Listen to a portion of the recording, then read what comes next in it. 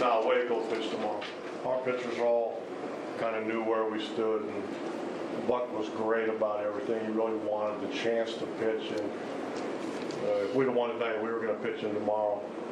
Uh, You know, everybody, that, you know, Lackey was good about kind of waiting for his side session, but uh, Wake will start tomorrow, and then Buck will throw the first game out open.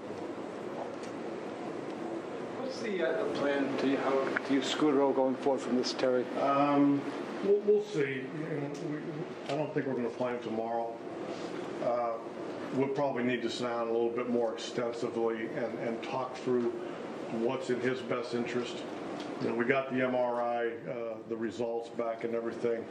And I think going forward, I think we probably all knew there was some, some damage in his shoulder, you know, some weakness, however you want to put it. I think the, the bright side of that is that I don't think there's anybody in our medical department that thinks that he can't move forward non-operatively and be just fine. Just gonna take work like it does with a lot of players. Um, You know, saying that, it's been a pretty long month for him, so we'll, we'll, we'll, we'll see.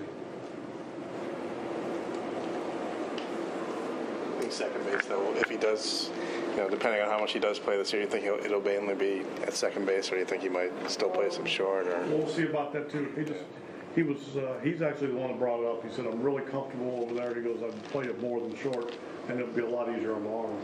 So, again, he's not gonna play tomorrow, so that's probably a conversation for maybe the off day.